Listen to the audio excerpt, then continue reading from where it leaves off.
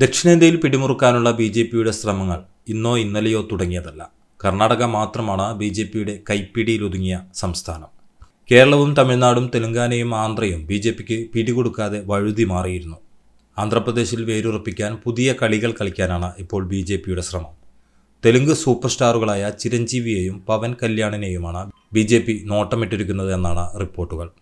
രണ്ടായിരത്തി ഇരുപത്തിനാലിൽ നിയമസഭാ തെരഞ്ഞെടുപ്പിലേക്ക് പോകാനിരിക്കുകയാണ് ആന്ധ്രാപ്രദേശ്.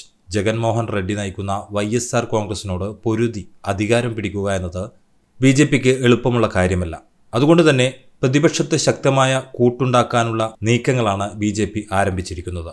പവൻ കല്യാണിനെയും ചിരഞ്ജീവിയെയും ഒപ്പം നിർത്താനാണ് ബി ജെ പി ശ്രമം എന്നാണ് സൂചനകൾ. ഏതാനും ദിവസങ്ങൾക്ക് മുൻപാണ് വിശാഖപട്ടണത്തെ ഐ എൻ എസ് ചോള ഹോട്ടലിൽ വെച്ച് നടനും ജനസേന പാർട്ടി നേതാവുമായ പവൻ കല്യാൺ പ്രധാനമന്ത്രി നരേന്ദ്രമോദിയുമായി കൂടിക്കാഴ്ച നടത്തിയത്.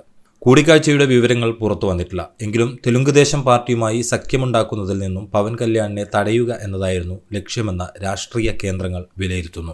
ബി ജെ പി നയിക്കുന്ന സഖ്യത്തിൽ തുടരുകയോ അതല്ലെങ്കിൽ വരാനിരിക്കുന്ന നിയമസഭാ തിരഞ്ഞെടുപ്പിൽ സ്വന്തം നിലയ്ക്ക് മത്സരിക്കുകയോ ചെയ്യുക എന്നതാണ് കൂടിക്കാഴ്ചയിൽ പവൻ കല്യാണിന് മുന്നിൽ നരേന്ദ്രമോദി മുന്നോട്ട് വെച്ച നിർദ്ദേശമെന്നാണ് സൂചന.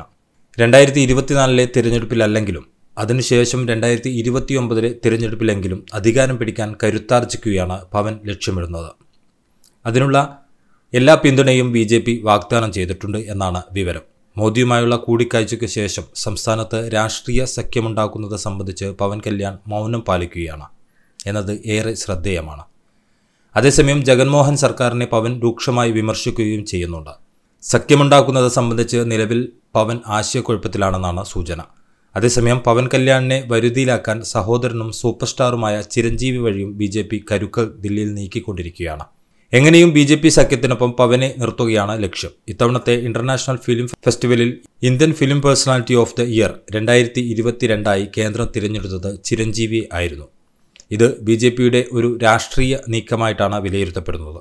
മാത്രമല്ല കേന്ദ്ര സർക്കാർ ആന്ധ്രയിലെ ഭീമാവരത്തിൽ നടത്തിയ പരിപാടിയിലേക്കും ചിരഞ്ജീവിയെ മോദി ക്ഷണിക്കുകയുണ്ടായി. പിന്നാലെ പവൻ കല്യാണിനെ പുകഴ്ത്തി ചിരഞ്ജീവി രംഗത്ത് വന്നിരുന്നു. രാഷ്ട്രീയത്തിൽ വലിയവനാകാൻ ഒരുനാൾ പവന് സാധിക്കട്ടെ എന്നാണ് ചിരഞ്ജീവി ആശംസിച്ചത്.